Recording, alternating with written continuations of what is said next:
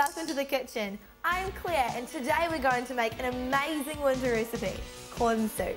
What you need, an onion, half a teaspoon of curry powder, three potatoes, a carrot, four cups of chicken or vegetable stock, one can of corn and a handful of parsley. Here we go. I'm ready for the onion. Peel and chop the onion and carrot and finally chop the potatoes. Put a tablespoon of oil in the saucepan and heat it up. And add the onion, potatoes and carrot. If you want to spice it up, you can throw in half a teaspoon of curry powder. Heat for 3 to 4 minutes, stirring until the vegetables begin to soften and brown.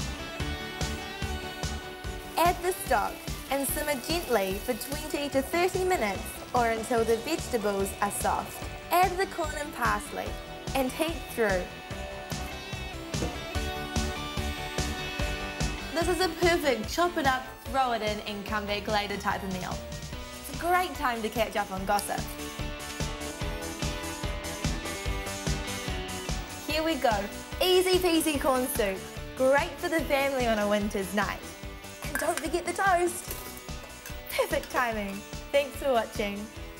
And remember, you can find this recipe on the dashhub.tv.